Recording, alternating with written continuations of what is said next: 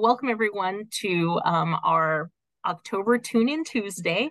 Um, and we are going to be talking about how to work with uh, LGBTQ two spirit plus youth um, in the juvenile drug treatment court. Uh, I think this is particularly important for all of you to be thinking about.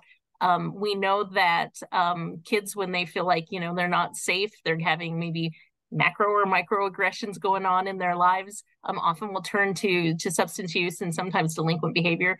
So um, one of the the things that we know is that these kids um, sometimes end up more often in court and a lot of times in uh, drug court. So i want to to give you guys some really good tools to to deal with that. Um, as always we have our disclaimer um, that we're going to uh, make sure that you know that everything that's happening today is not um, either a position of the federal government nor a position of NCJ, FCJ, or All Rise. Um, so I just always have to get that out of the way. Uh, so without further ado, though, I want to turn it over to our presenter. Um, Rob, I'm going to let you introduce yourself, and so take it away. Great, thanks, Jessica, and hello, everybody. Thank you so much for uh, for joining today. Um, so yes, Jessica said, I'm Rob Woronoff. Uh, I've been doing this work uh, on behalf of LGBTQ plus youth for about 30 years. Um, uh, Elijah and I were just talking about, uh, I, I, was a trained actor in New York or came out of training and then went to New York. Uh, and because I was on stage at night and had my days free, uh, and because it seemed like at that time AIDS was just spreading like wildfire, um, I started volunteering. And that volunteering work took me to uh, young people who were mostly queer identified, who had been kicked out of their homes or ran away from their homes uh, from unsafe situations, started volunteering with them, and that's that took over my life. Um, so I know a lot of you who have volunteered, you know how powerful that can be. Um, so just a teeny bit about me, because I do want to jump into the material. Uh, among many positions I've had, uh, I was the National LGBTQ uh, Director at the Child Welfare League of America in Washington, D.C., where I ran an entire national initiative um, CWLA at the time was run by Shay Bilchik. Some of you who may know him, uh, he was the director of OJJDP before he was at CWLA, and now he runs the Center for Juvenile Justice Reform at Georgetown University. So he's been a great uh, ally and advocate. Uh, it was it was a big step for him to start this national LGBTQ initiative, uh, and I was thrilled to be able to uh, to go around the country and work with it with just about every state in the nation. Um, another position I've had, uh, the USC School of Social Work about five years ago hired me because a lot of their MSW students, most of their MSW students were going into dependency uh, systems, which is wonderful, but we need more therapeutic approaches, as a lot of you know, in our uh, in our systems of confinement and in our probation and police systems. Uh, so that pro training program at USC was to train MSW students to want to work in those systems and to come at that with a more therapeutic rather than a punitive approach.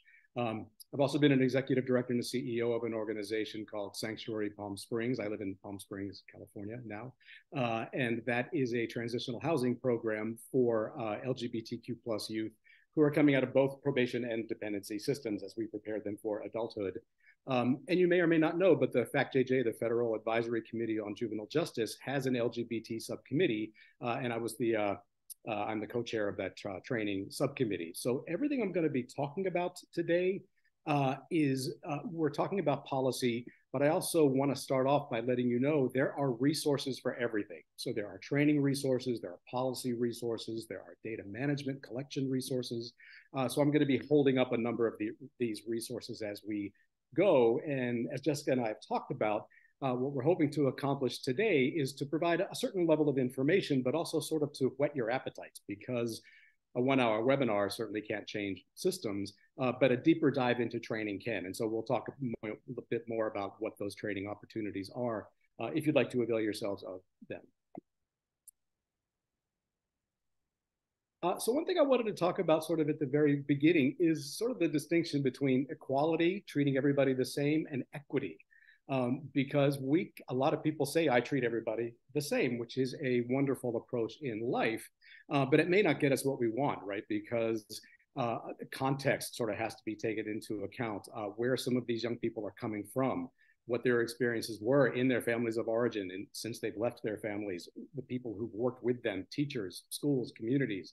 Um, and so it's not always about just treating everybody the same, it's making slight accommodations uh, that will then get them what they need and get them the help that they need to get them on their way. So you can see just in these two pictures, the equality picture shows these three boys were treated the same. They were given the same block. Um, that doesn't really help the little guy, right? He doesn't get to see the, the game. Um, but by making the accommodation, the taller boy doesn't need a block, the little boy needs two blocks. Um, so again, that's just sort of an oversimplification, but you kind of get the point. Um, all right, so you know, I think the most important thing that we can ever do when we're working with these young people is to listen. Because unlike a lot of other demographic information, uh, somebody's sexual identity or gender identity is really internal to them. And we can only know it if they tell us. And they will only tell us if they feel safe and they feel as though they can be, you know, that you can be trusted with the information they're about to share. Um, because many, many times, um, they will share this information and then bad things will happen to them. They'll be rejected, they'll be hurt, they'll be made fun of, they'll be ridiculed. Uh, all of the, the reasons, the sort of the, the initial building blocks of what ultimately becomes their substance abuse and substance use and the things that you have to deal with in drug courts. Um, so the very, very first thing I did when I was hired by CWLA, and this was 20 years ago now, um, was before we wrote any policies or developed any training curricula, made recommendations to states, we wanted to hear. So I set up an entire national system of regional listening forums. And by the way, this Child Welfare League of America project was a co-project with Lambda Legal, which is a legal service organization that does a lot of impact law. Um, Lambda Legal actually wrote the very first report in 2001 called Youth in the Margins. And as I said, I'll be holding up a number of resources. You have a bibliography at the end, so you'll be able to access these. Uh, but Youth in the Margins was a very important study because it was the first time there was a national kind of uh, research project on what are the experiences of LGBT at the time, just LGBT is what we were talking about. And I'll talk a bit more about how language evolves. Um, but when this report came out, it was really fascinating. Those of us involved in this work uh, we ordered it, we read it. I was thrilled. It's it's 200 some pages of nothing is going on in any state. um, there was a, a, director of an entire state who said it's not a problem. I have no gay kids in my state. Now we know that's not true, and I'll talk about research in a little bit. Um, so we wanted to do something different. That research study was done by just talking to administrators. We wanted to go directly to the young people. So uh, I worked with agencies all around the country. Originally, we were just going to do about six forums. We ended up doing 14 uh, in every state. Um, I'll give one quick little example. I got a call from a social worker in Salt Lake City in Utah. Utah was not on our list of states we were going to do a forum. And I said, why do you need uh, a forum there? And she said, we had a case recently where there was a 15 year old girl who disclosed to her foster mom uh, that she was attracted to girls. And the foster mom's approach was to buy a bottle of vodka, give it to a boy who was a friend of this girl's. Uh, she said, I'm going to stay late at work tonight. Go to the house. You two get drunk. They were 15 years old. Have sex with her, rape her if you have to, because ultimately that will save her. If she has sex with a boy, that will make her heterosexual and that will be good for her in the long run. That was so offensive to everybody, but certainly to the state of Utah, that Utah became the very first state in the entire country to require LGBT training for all of its state social workers as a result of that. So we did that for them in Utah and many, many other places as well. Um, so when I do trainings, I like to start off with just talking about some of the quotes, some of the things that we heard. Um, and that all went into this book. This Lambda study, as I talked about, was called Youth in the Margins. So I wrote a book called Out of the Margins uh, because we wanted to bring these issues to the forefront and realize that there are these children do exist, they do have needs, and hearing from them directly in these uh, forums was very, very powerful for sort of everybody involved. So I'm just going to run through a few of those now. There are many, many more in that book. Um, so when I was in foster care, all my foster mom would do was taunt me. My foster family took away my clothes, called me a dyke, and tried to remake me. And as I'm saying these, go by what you know what you, and i don't presuppose you don't know a lot of this stuff already um, you know kind of listen for some, some of the, the legal violations uh, and certainly some policy violations that are that are being tossed out. Um, i got jumped by a bunch of guys in my group home and when i told the director he said well if you weren't a faggot they wouldn't beat you up. It's not fair. This young man i remember was in jacksonville florida uh, since he went he did the right thing. He went to the director obviously got no protection Uh, so he started carrying a knife to protect himself. And we all know what happens to a young person who carries a weapon in a group home. He was brought into the juvenile justice system, right? Uh, right away, a child has a personality. And if you suppress children's sexual orientation or gender identity, children are going to have major emotional problems they're never going to get rid of. Now, we know this from science. When this quote happened, uh, that's just a logical thing. Uh, research that I'm going to talk about in a li- little bit has borne this out that something called conversion therapy, trying to change somebody's sexual orientation or gender identity, the research shows that taking a child to one visit to a therapist who tries to do that increases their suicidal ideation eight times. We're just not in the business of increasing children's suicidal tendency, right? Um, so in my high school, when I came out, I didn't know who to go to. Uh, so I searched online and they had every site blocked that had the words gay, lesbian, transgender. I found thousands of sites about how to kill myself and the best way to do it, but I couldn't find one site to explain who I could go to for getting help. So again, this illustrates how we sort of shut them out of the resources that they really need to stay safe. This one always is, is powerful. Uh, when I was 15, I was walking down the street with my best friend, and a group of guys came up to us and they asked my friend if he was gay. He said yes, and they killed him right in front of me. I ran home to tell my parents what happened, and they kicked me out. My parents don't love me because I'm gay. So when we talk about trauma and multiple layers of complex trauma, compounded trauma, this is this is a perfect example of how that starts obviously this is something i'm not telling you you don't something you don't know but when a young person experiences trauma like this and has that level of pain usually if we're not reaching out to help them they will help themselves by self-medicating. Again they're going to end up in a drug court at some point. Uh, i only had one lady to talk to and the rest of them weren't trying to help me out or anything. And in my first group home they sat me down with a big family bible and described to me why it was wrong to be gay all right, so again, those were just some of the things that we heard. We heard hundreds and hundreds of similar expressions uh, that then motivated uh, certainly the Child Welfare League, but a lot of states and a lot of jurisdictions to start writing policies, to start training their staff, to make sure that these young people were actually getting support when they disclosed and not getting harmed more.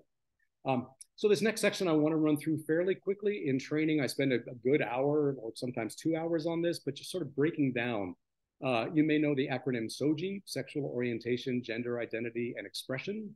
Uh, a long time ago, we used to refer to these kinds of trainings as like LGBT or LGBTQ plus trainings. Um, that's very specific to a, a, group of people.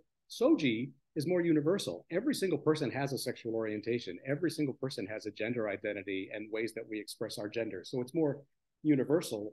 Um, and why that's really come in handy now is young people grow and evolve, right? And we think about how different we were from our parents' generations and generations that came before. Young people now don't always put themselves in the boxes that we may have put ourselves in. I'm a gay identified man. I put myself in that gay box. Um, but a lot of young people don't. Uh, sexuality, gender are much more fluid, much more expansive now. It's wonderful for them. It can make it very difficult for us. so I'm going to sort of talk about those concepts. Um, so you see on the one side of the screen, sexuality includes basically three components sexual orientation, sexual identity, and sexual behavior. Uh, sexual orientation is simply who we're attracted to. Uh, so, in person training, I ask people to, to say, you know, what happens to your body when you see someone you're attracted to, physically attracted to? You know, what, what are the responses that we have? Uh, and people always say things like, you know, my palms get sweaty and your stomach, you get butterflies and uh, your heart races.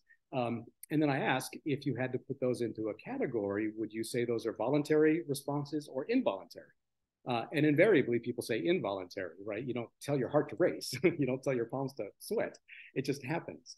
Um, but those things happen internally, right? We can't see somebody's heart race, or you can't see it, you know, the butterflies in the stomach, which leads to the next uh, point about sexual identity. It's it's then about how we talk about those feelings we don't make those feelings happen. We can't stop those feelings, which is why it's so damaging when people, when conversion therapists try to change them, right? As I talked about that suicidal ideation.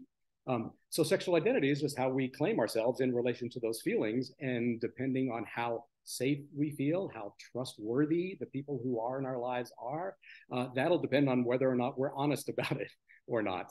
And we all know that a lot of young people will do anything to throw people off the track uh, and when we talk about sexual behavior, um, if I had to ask you who gets pregnant or gets somebody pregnant more, straight kids or LGBTQ kids, it's actually the LGBTQ kids get pregnant or get somebody pregnant about three times more. Um, because if a boy gets a girl pregnant or if a girl gets pregnant, it's a great way to throw people off the track if they're same sex attracted and don't feel safe in, in disclosing that. Um, so the first two parts of that, sexual orientation and sexual identity, those are protected in the laws and policies that we're going to be talking about. We don't police those things. Um, but you absolutely can police and control sexual behavior, particularly in, in systems of confinement. Um, that's changing somebody's or, or helping a young person understand appropriate behavior is not denying who they are, it's how they act. Um, and so I wanted to make sure that I kind of teased that part out. I'm not saying, and no one would ever suggest you have to let young people do whatever they want to do. That's never the case. Um, on the other side, gender is when a baby is born, the first thing they say, right? It's a boy or it's a girl. I never think that's quite accurate. What they're saying is it's a male or it's a female, right? Usually based on genitalia. Um, almost all babies, very nearly, are born male or female, but there's also a whole spectrum of conditions called intersex. Uh, some of you may know it as, as hermaphrodite was a, is an outdated term we don't use anymore, but intersex is a clinical biological set of conditions where a baby may be born with ambiguous genitalia or attributes of male and female. Uh, if they do more testing, they may have XYY chromosome, XXY chromosome. They may have uh, a penis and ovaries. They may have a vagina and undescended testes. Um, and but by and large, most uh, most babies are born male or female. The it's a boy or it's a girl part uh, research has shown on little children that they have a very uh, clear identity in terms of their own gender by 24 to 36 months. So two to three years old, they know if they feel like little boys or little girls or something kind of on the, the gender spectrum. Um, by the time they talk about that, maybe 10 or so years later, they've lived with this for a very long time. So if they have felt supported in their gender expression, uh, in the way, the clothes that they'd like to wear, the toys that they'd like to play with. We all know that a little boy reaches for a Tonka truck and the world is in harmony, but the little girl reaches for that Tonka truck and she's usually it's taken away from her and she's given a doll. Uh, conversely, if the boy reaches for a doll and wants to play with dolls, we take them away. Um, we don't teach boys to be very nurturing and then we wonder 25 30 35 years later why they're not good parents but that's a whole other sort of set of discussions um, but you see how kind of those things play out as well. So I just wanted to kind of throw those out there uh, just so we're all kind of speaking the same language. Um, we have lots of letters. When I started doing this work, the very first job I got was uh, to run the Massachusetts Governor uh, uh Governor's Commission on Gay and Lesbian Youth. That's all we were talking about at the time, almost 30 years ago. Uh, those definitions have expanded as we've come to understand bisexuality, certainly gender identity and that people cross the gender lines, transgender. Uh, some people are queer, some people questioning two spirit that in indigenous cultures, uh, there's a fluidity of gender and sexuality that wasn't always condemned. Uh, there's a wonderful book called Living the Spirit, where it talked about a lot of two spirited people being very revered uh, in their communities. Um, the the the letters, the acronyms. There's no right way. There's no one way to do it. Please don't get uh, sort of tied up in it.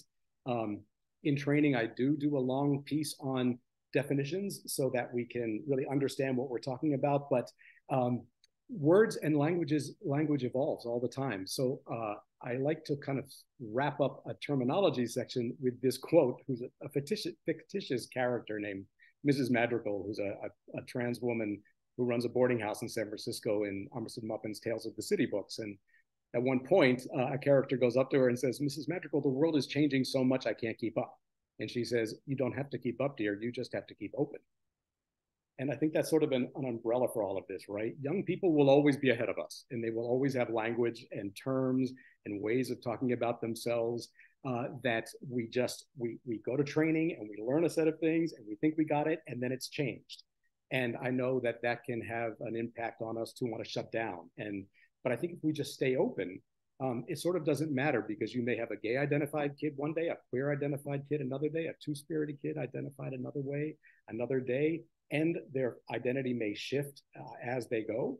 Um, but again, if we if we just stay open to hearing them, um, that's a lot of what we're talking about here. So, you know, as I talked about in the, the Youth in the Margin study, there was a state director who said, I have no gay kids, so it's not a problem. Uh, there's been a lot of research now uh, on the numbers of LGBTQ youth in, in systems, um, and it's uniformly about 20%. So it's at least one in five uh, kids who are LGBTQ identified who are in our systems of care. Um, young people on the street, it's much, much more than that, um, usually about 25 to 40%, because they are doubly rejected right? They're rejected by their families of origin. They come into our systems of care. And if they're rejected even further, then their next stop is usually to run away. And I know all of you have worked with runaway, run, and homeless youth. Um, there's one resource I wanted to hold up. This is a book called Street Child. Uh, it's in the bibliography. If you want to read this, this is a harrowing experience, but it touches every single base of what we talk about here. Um, this was a, a very effeminate little boy whose father thought he would toughen him up by beating him to make him tougher. Uh, those beatings was, you know, brought to the attention of CPS. He was brought into care. He was abused further in foster care. He ran away. He was on the street starting at 10 years old and didn't get off the streets until he, he was almost 30. And so in this book, he really talks about all of his experiences with substance use, with mental health issues, with addiction, um, in and out of incarceration, juvenile incarceration, adult incarceration. Um, this would be unreadable, except it has a happy ending because he also went into recovery, forgiveness, healing. He thrives as an adult. He's he's in his 50s now, and his minimum uh, job salary is 225 a year, which is a lot more than a lot of us make working in this business, right? So he, uh, uh, it has a happy ending. So it's Street Child. It's a it's a wonderful resource. Um, again, we're going to go over briefly the laws and the, the policies. Um, but you have them here in the slide, so I don't want to spend a lot of time just reading them, but just know that, as I said, there are a lot of um, a lot of best practice guidelines. There are a lot of uh, federal constitutional protections that are built into these uh, policy guides for you to follow. Uh, so I'm going to go through a, a, bit of those as we go.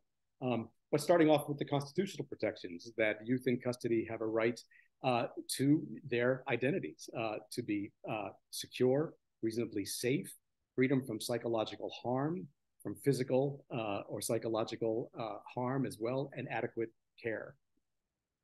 Um, so again, I want to make sure we have time for questions, so I'm not going to read through every single one of these. But things like uh, Title 4E, Title 4B, the Foster Care Independence Act, the Affordable Care Act, Title 9, these all have protections. I'm going to talk about PREA in a, in a few minutes as well. Um, so as you, you know, think about this, does your agency or organization have non-discrimination policies? non-discrimination policies are a very first step because we're never talking about challenging anyone's belief system here, right? We're talking about the day-to-day practice at work. Uh, and those things can be guided by policies. People get to believe what they get to believe. Um, when I was running PREA projects, I had a deputy once say to me, um, when we were doing an LGBTI, because PREA includes intersex uh, people as well, we were doing some training, and this deputy said to me before the training, uh, talking about these issues violates everything I believe in my whole belief system, my culture, my faith, everything I was brought up to believe. He said, None of that matters the second I put on my uniform.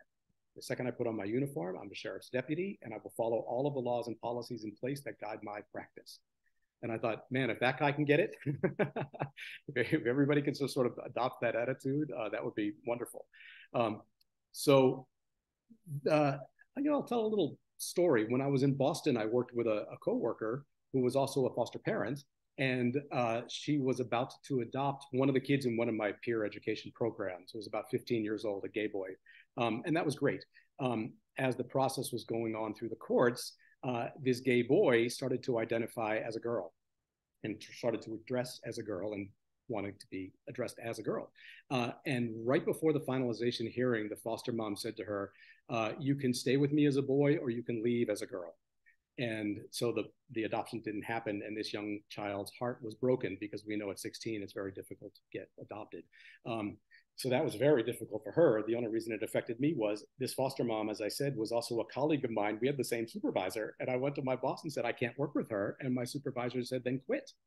You have to work with her. When you come to work, I expect you to be professional why I tell this story is my supervisor also said, I will create a safe space for you to come into my office, close the door, and say whatever you want about that woman. And it's safe. So you can vent.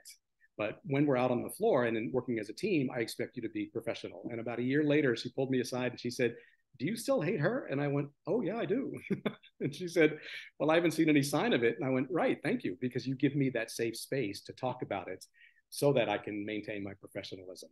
Um, so I bring that up because, again, my feelings about that woman had nothing to do with anything. The agency's policies, though, dictated that we work together. So as long as you stick, anybody sticks to the policy, you're never going to run afoul. Uh, and again, it takes out any of the, the feelings uh, and the beliefs that we may have. Uh, but having non-discrimination policies are it's a good start, but it's only a start, right? Um, not discriminating against somebody is a good thing, but what the message that we want to send to young people is, I am here for you. I am here not just to not do something bad to you. I'm here to help you, and I'm excited to work with you, and I validate who you are.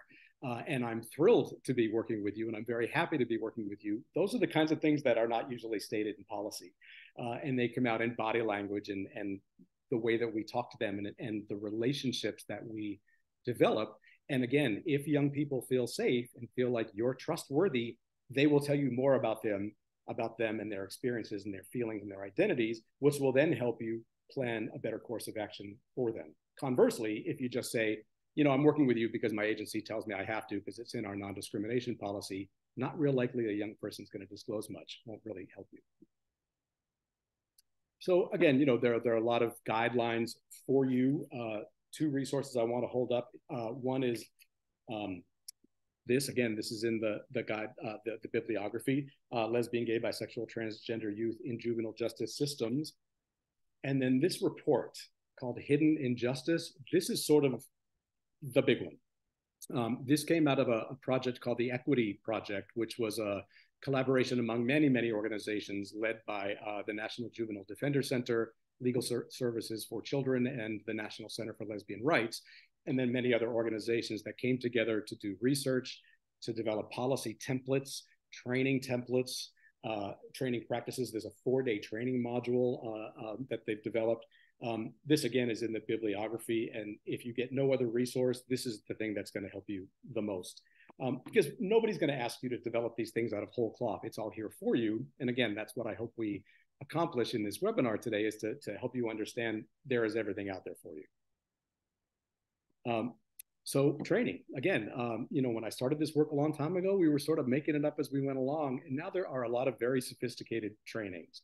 Uh, there are trainings that are just designed for uh, sort of dependency systems for social workers working in those systems. Uh, the Human Rights Campaign in DC, HRC, has a wonderful set of training curricula, three different trainings, um, working with families. So to get children out of systems and back into families. So whether that's recruiting LGBT foster and adoptive families or working to heal the families uh, uh, from where the kids come in the first place to keep the kids in a family system. Um, the American Bar Association has this guide called Opening Doors for lawyers and judges. So there's training available in uh, courts as well. Um, so again, it's just sort of a matter of uh, availing yourselves of these systems. And as Jessica and I talked about, um, there's not only trainings available for you, but they're also training for trainers. So trainers can go in and train your trainers so that your systems can keep this work going on an ongoing basis, um, because that's actually how we make the best kind of systems change. Um, so, you know, training staff is a wonderful thing. Training should be ongoing. Training should address the needs for affirming and respectful care that is really that's inclusive of, of SOGI, sexual orientation, gender identity, and expression.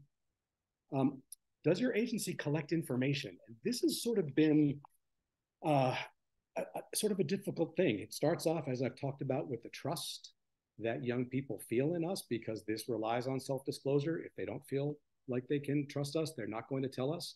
Uh, PREA tells us that we have to interview everybody who comes in related to their sexual orientation or gender identity. But as you know, that is at their they're at their most traumatized when they're coming into those kinds of systems. And again, they're likely not to trust, so they're going to tell you the wrong thing.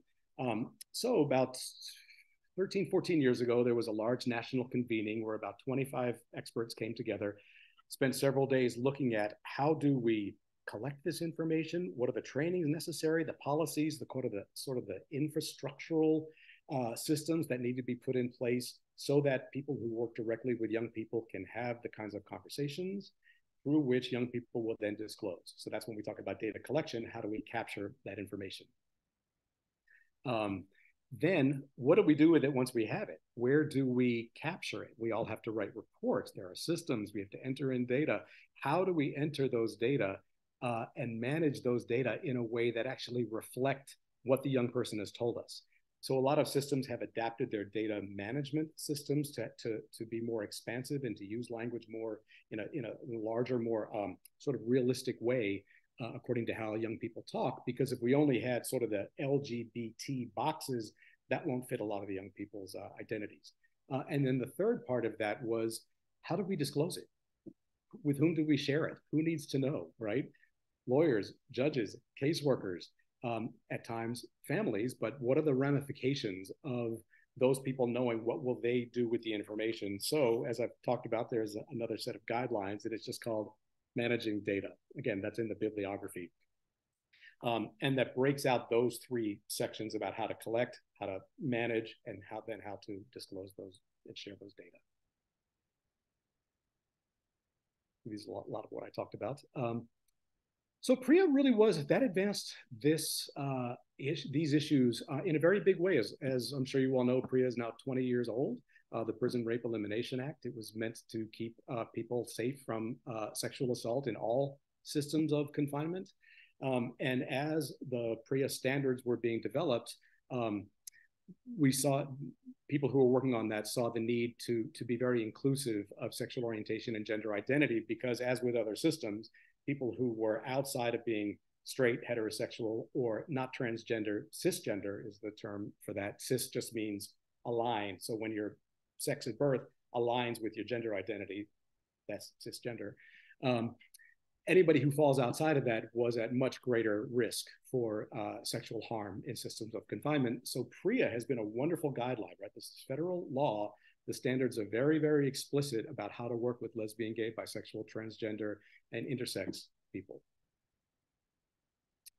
Um, and then drug testing, uh, particularly with, with trans youth. So um, before I get into that, I want to talk a bit about a wonderful research initiative called the Family Acceptance Project at San Francisco State University. Uh, this is a wonderful institute that's been studying LGBTQ youth for 25 years or more. Um, that's how we have a lot of the data that we have. Uh, this is a wonderful practice guide. Again, that's in the bibliography. The Family Acceptance Project has materials in many, many languages um, that really help us understand what are the emotional tolls that are taken on young people that drive their substance abuse in the first place, right? Young people who are loved, nurtured, cared for, supported, uh, have very little need for any drug use uh, aside from just sort of regular adolescent exploration and, and, and uh, that kind of very informal use. But the kind of addiction that we're talking about, as we all know, is there to numb pain. And that pain is caused by the levels of acceptance or rejection that they talk about. Um, so some of the resources the Family Acceptance Project has is a number of videos. Um, and one of those videos uh, it's called Always My Son, and it's it's wonderful. I use it in training all the time. It, it starts off with a very sort of machizo Latino man who starts in the video by firing a gun. He was a Marine. He wanted his son to grow up to be just like him, uh, and what he got was a son who was nothing like him, uh, and who liked to play, make dresses and play with dolls. And he was a gay kid, not a trans kid, um, but a very effeminate boy and the father didn't like that at all. And as the son was growing up he he sensed more and more his father's rejection of him uh, which then fueled the young boy's substance abuse. And it's only when the child almost died from alcohol poisoning one night that the father said you know what? It's not my son who has to change it's me. If i don't change i'm going to lose my child. Uh, and it's a very very powerful message because again he's not a social worker this guy. He's just a guy uh, and really saw what how his behaviors were the driving force in his son's substance use. Um, conversely, then loving his son, embracing his son for exactly who he was, over time, that's how the young person went into recovery, and that recovery lasted. Um, so I just kind of kind of wanted to bring that up. I'm sure you all know a lot of that, um, but particularly with trans youth because they have um, many many levels of of discrimination and rejection. Right? I think the world in general, our society certainly has gotten more accommodating of, of sexual orientation of, of gay and lesbian rights. Same-sex marriage is legal. Uh, you know, there's a lot of things have changed in terms of that. But we all know right now, in particular, trans youth are under assault uh, by many, many, many states. And we can continue that. It will make them feel very bad about themselves. It will drive them into the streets. It will drive them into the kinds of things young people need to do on the streets to survive, as we know stealing, sex work, drugs. Um, all the reasons then, eventually, when we capture them and we bring them back into our court system, we try to get them on a better path and to heal them. What we're not healing a lot of times is that original trauma that could have been skipped all along if they had just been accepted for who they are at the beginning, right? So a lot of the organizations that we work with and the systems that we have in place, when we leave out the family component, we're leaving out a, a big opportunity because that's where the initial sort of security can be instilled in them. And young people who feel safe and secure and loved, um, as I said, are not at risk of being on the street and all the things that come with that. Um, so once trans youth in particular, as I talked about, the young woman who I worked with in Boston, who came this close to being having an adoptive mother who didn't adopt her simply because of her trans identity. She was the same young person who was never in trouble, never in, in, in, trouble, never got sent to the principal's office. She was a great student. In her spare time, she would read Shakespeare. Uh, and uh, the, the, the pain that she felt and I'm going to use this one child as an example, and you'll hear why in just a second. Um, the pain that she felt from that rejection, where she had already been rejected by her family of origin, right? Um, to have those expectations and those hopes built up again, and then to have those shattered once again, uh, obviously drove substance use. Fortunately, she had our peer programs to come to and to be safe. Um, I ended up sort of mentoring her for many, many years, and eventually I adopted her myself and she has a, an MSW now, and she's out in the world doing great things. She also got a full scholarship, so which wasn't a bad thing. But and that full scholarship was from something called the Point Foundation, which funds specifically LGBTQ youth. Um, so the identity that was sort of causing her a lot of problems at the beginning of her life has sort of paid off um, now. But she also does a lot of training with organizations, and as a Black trans woman who grew up in foster care, um, she has a lot to say um, that's just one example, but you, we see we can see how we have the power to kind of determine their trajectory or not. So, in terms of the drug testing, once they are in our systems, a lot of it is uh, you know unobserved testing because a lot of young people there's no universal way to transition. A lot of times it has to do with access to healthcare. So transition can the easiest form of transition is clothing, right? Um, young people in care have a right to wear clothing that expresses their gender identity. They have that right to do that. Um, that doesn't mean they have the right to wear anything they want. Quick other little story. Uh, when I was in Boston and I developed a group home for LGBT youth, um, one of the kids came downstairs to go to school one day, and the director of that program had a three B's policy, policy as she used to call it: no butts, no boobs, no bellies. She's when you're going to school because that's just not appropriate for any kid. And this one trans girl came downstairs to go to school one day and her entire midriff was showing. And the director said, Go back upstairs and change. And the young person said, I have a right to wear clothing that expresses my gender. And the director said, Right, that doesn't express your gender. That's just inappropriate for school. So it's taking on that parent role, right? And helping young people understand that. So again, we do have a right to sort of police some of their behaviors, not their identity. Um, the reason that unobserved drug testing is so important is a lot of young people don't have access to medical intervention. They may not have access to hormonal therapy. Um, gender dysphoria is a diagnosis in the DSM 5. So when a young person says that they feel as though they're not in the right body, they go to a competent therapist. That therapist does a series of assessments. Um, if it's a matter of coping skills, if it's a matter of a sort of an effeminate boy or a sort of a butch girl, I know I'm using general terms, uh, it may be about they have to learn to cope with that as cisgender kids who are sort of outside the gender norm, right? Um, but for young people who are trans, who are really in the wrong body, that gender dysphoria diagnosis is really, really important because then it allows the, the, the physician to write prescription for hormones. That's why we keep kids on hormones. That's why kids can't be taken off hormones if they come into to our systems uh, once they're on them, because it, like any other medication, it's simply a response to a diagnosis or a diagnosable condition. Uh, and then some may or may not have had different surgeries. Again, it just sort of depends. Um, so the unobserved drug testing is sort of just to, to respect their bodily autonomy. Um, and all youth, regardless of gender identity expression, should be asked if they would prefer to be tested by a male or female staff. And that's going to be just case by case. A lot of this really is case by case. And the way that we have that information is by talking to them.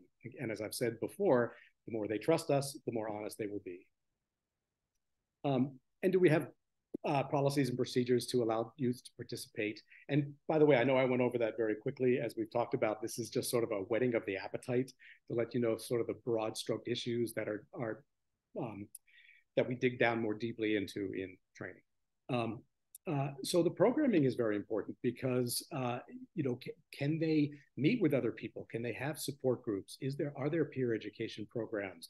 Um, are there theater programs? Are they things that they that they want to do based on the stories that writing programs that they want to tell um, that will help them get the information out there and also help them sort of you know address the issues and whether or not they've had protection or rejection in their lives.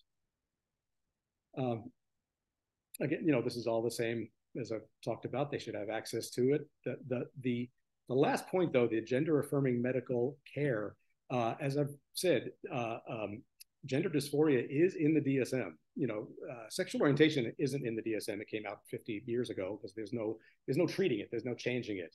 Um, it is good that gender dysphoria is in the DSM because again, once something is a diagnosable condition and has been diagnosed, then it takes it out of the sort of the, the, the, the, belief system realm and into the medical practice, which is where it belongs. Because if the gender if the gender dysphoria has been diagnosed, if then the therapist sends uh, the young person to a physician and the physician prescribes hormones, uh, and those hormones can take a couple of see if I have some time yet to um, that can take a couple of courses. One is as I said, kids have a good sense of their sense of gender at a very, very early age, two or three years old. So that's before puberty. So you may be aware of things called puberty blockers. And if a young person says, you know, at three, four, five, six, seven, eight years old, uh, if even though I have a male body, I'm a little girl, or even though I have a female body, I'm a little boy, and they're working with a pediatrician and, and an endocrinologist who has had training, they may prescribe puberty blockers, and that just simply blocks puberty from starting when they get to be 10, 11, 12, 13 years old. Because when a lot of those physiological changes happen, Adam's apples growing, hips widening, knuckles widening, uh, those can't be undone. What the puberty blockers do is allow the young person's front part of the brain, the frontal lobes, the prefrontal cortex, that as we know does, doesn't start to develop until mid teens, 15, 16, 17. So that's the, the tension, right?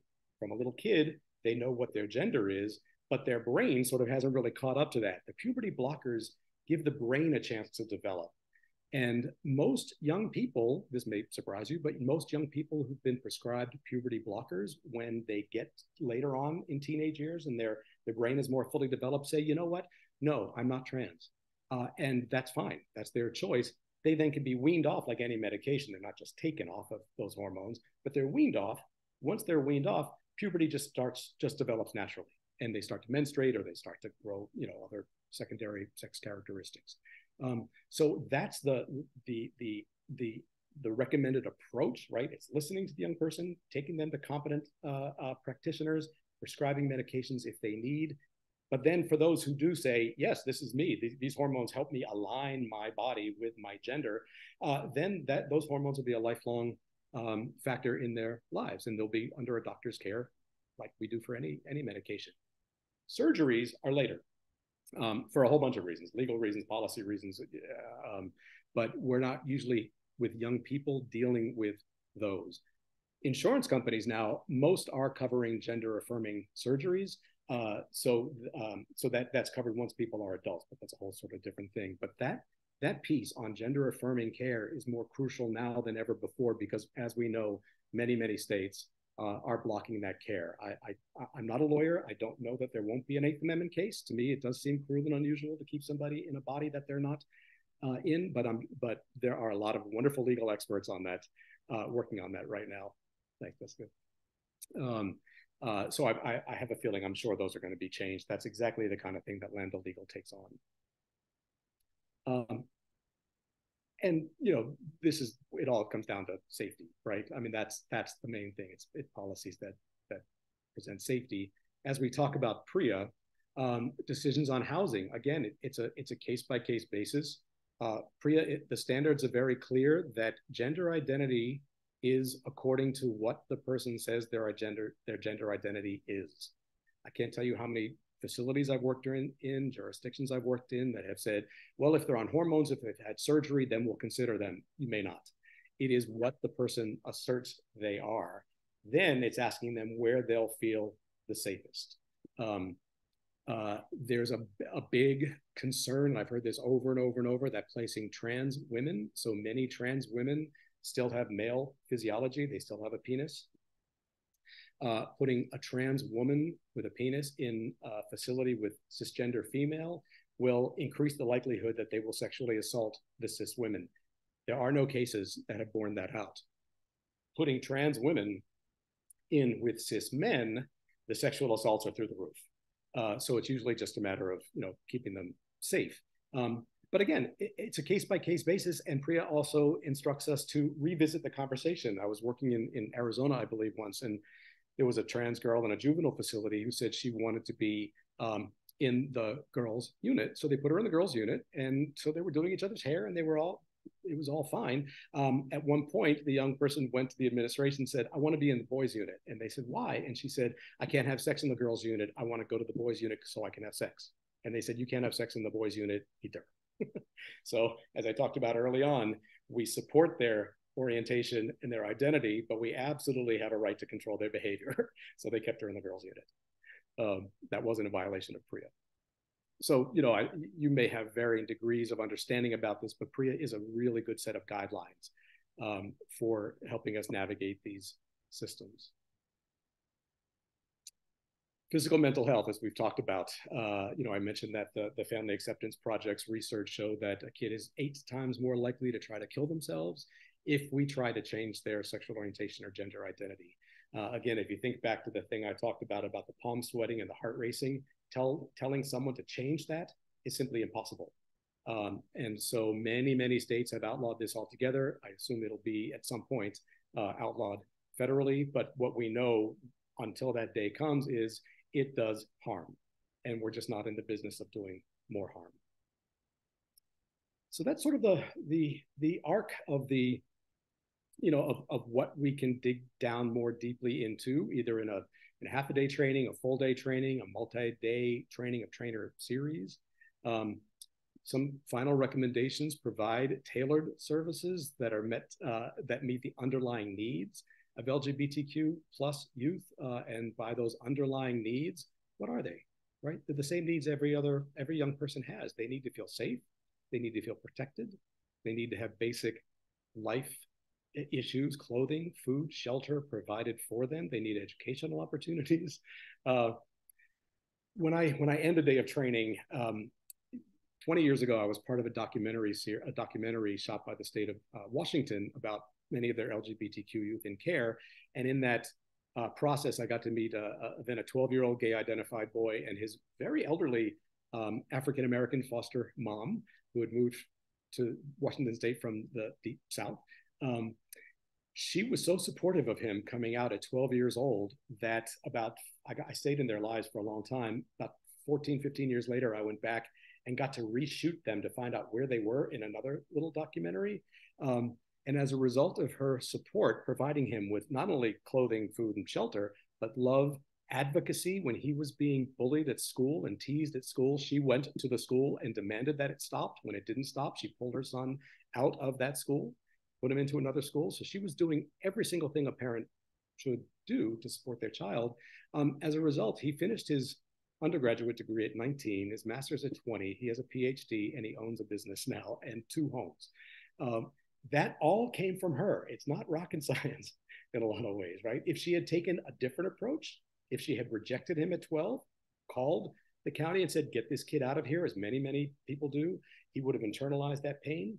We would have lost all of that talent that now he's sharing with the world.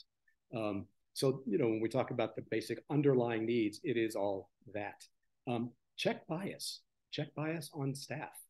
Um, again, help staff understand we're never talking about challenging their belief systems. We're here to talk about their practice, what they do when they're on the clock at work. Um, that is absolutely, we can absolutely uh, kind of, you know, challenge their bias if they're showing their bias there. This is also the point at which I talk about the need for supervision. Remember the story I told about the my coworker who didn't adopt my daughter, uh, and how I didn't like to work with her, and how my supervisor created that safe space for me. It is imperative that supervisors get training to provide those safe spaces because we don't want workers to have to say, to have to sort of suffer in their own silence, right? If this violates my faith, my culture, my belief system, whatever, I need a place to talk about that. The place to talk about that is not with my clients. It's not with the judge. you know, it, it's in, in a work situation. It is in supervision. And so, how my supervisor can help me navigate that and bring those two things together uh, is a very, very important part of this. Um, train team members and stakeholders on what behaviors are helpful. Again, the Family Acceptance Project has a whole list of helpful behaviors and harmful behaviors, and those are all within our locus of control about which we want to to, to do. Um, and staff should certainly not punish or behavior behavior that is uh, perceived, you know, on gender norms or things like that. Uh, when two seventh grade kids are in the back of math class, a boy and a girl, say, and they're just sort of holding hands and giggling and kissing, um, the teacher will invariably say to them, "Stop doing that and pay attention." That's usually where it stops if two girls or two boys are in the back of math class holding hands and kissing, a lot of times they'll get an extra message. The teacher will say, stop doing that and stop being who you are. That's what we want to stop doing, right? Kids can never stop being who they are. If they do, if we do tell them that, again, it comes back to the pain that they will need to numb with substances or any other, a lot of other things. So they shouldn't be punished for who they are. As I've said, we have every right to to control many behaviors. Let's stick to the behaviors that are universally applied. Um, if if if uh, if a foster parent says, uh, you know, my my foster daughter can't bring a girlfriend home, but she could bring a boyfriend home, that's not right. That's not fair. But the parent absolutely has a right to say, kids in my house don't get to date. They're too young. That's fine, right? That's that's as long as it's equally applied. so again, a lot of these resources, that the Out of the Margin study, there's a, a special edition of the L, uh, LGBTQ edition of the journal Child Welfare that has um, 16 different studies in it, uh, dependency and delinquency systems across the board, very good research projects. Uh, the Hidden Injustice Report, as I talked about, the opening doors for uh, the guide that the ABA created for lawyers and judges. Uh, it's Your Life uh, is a guide. Um, Breaking the Silence is a series of, of digitized stories where you hear from 10 young people firsthand. They're three or four minute stories, very brief, but they're told by the young people. It's a wonderful resource uh, where they talk about how they were accepted and or rejected and how they had to deal with that. Those guidelines I talked about for managing systems, uh, Street Child, a wonderful, wonderful memoir that Justin Reed Early wrote, Family Acceptance Project. Some of the research I talked about about young people knowing, having a good idea of their gender from a very early age. The research is is uh, in the Transgender Child book. Um, and again, OJJDP has a lot of resources. Uh, when Keith Towery was running that that's uh, that department, he really built up a lot of resources. So if that could just be your one-stop shop, that and the National SOGI Center, uh, and as I talked about, Shay Bilchik's uh, Center for Juvenile Justice Reform at Georgetown University. Um, so lots and lots of resources for you. Um, so that's sort of the the broad strokes. I know, you know, sort of the, the limits of this sort of system is a lot of me talking at you, which is not what a training is when we're in the room. Um, but hopefully it imparted a certain amount of information that will, will help you along the way. But um, Jessica, do we have other questions that we can? We don't have questions yet. So folks, if you do have a specific question and you'd like Rob to address it, you can put it right into chat now. Um, or you can even raise your hand and we'll unmute you, or you can unmute yourself and you can talk out loud if you'd like. Um, I do want to let you know that um, we have funding uh, at NCJFCJ and All Rise to provide juvenile drug treatment courts with training and technical assistance on topics like this. So if you think that you would like to undertake um, a deeper dive, give me a call, call your grant, um, your site liaison, um, send us an email. We are happy to send Rob out to you. Um, happy to to help you really explore these issues and create your own policies and procedures. Um, and uh, and hopefully, um, I'm trying to figure out if I can it can pay for uh, one of the train the trainers that Rob was talking about, where we would pay for your travel to come and learn all of these things, so you could take it back and train um, in your own jurisdictions. I think it would be incredibly helpful if we could really spread out the number of people that are doing this work um, to make sure that we really are getting a good saturation because um, it, I think there's so many really easy things that we can do for kids in the system to help them feel safe and protected. Um, and uh, and and a lot of you are already doing those things. I just want to make sure everybody is. So um, um, let me look again if there are any questions, Rob. I'm not seeing anything. Lots of people are saying thank you. They do want your slides. So we're going to post this webinar on our website. We'll also send you out all of the slides so you have um, easy access to the um, to the resources. But again, feel free to call on uh, NCJ, FCJ, or All Rise if you have questions and would like to do more. Um, and I hope you will. All right, Rob, I want to thank you very much. Oh, it's been my pleasure. Thank you all. And I really, I, I thank you all for attending this because by that, it just signals that you want to, to, to, keep going in this. And by the way, you wouldn't be alone. A lot of states already have jumped into this. Uh, I mean, I've trained huge systems in Texas and Indiana and Utah, uh, Alaska. Um, so this is sort of just jumping on a train that's already running down the tracks. Um, yeah, and I think it's great that that there is nothing that has to be created here. There's stuff that gets compromised or compromised, um, customized for your jurisdiction. So you can take all of these things that have already been created and figure out how it fits where you're at and just implement. So I think that it's amazing that you can can really bring to bear all of those different um, efforts that have happened already. Great. All right. Thank you all very much. Um, please, again, feel free to reach out. Uh, we will have another Tune in Tuesday in November. You can look for that advertisement coming up um, in the next couple of weeks. And uh, I hope everyone has a great rest of their day. Thanks, everybody. Bye-bye. Here, bye.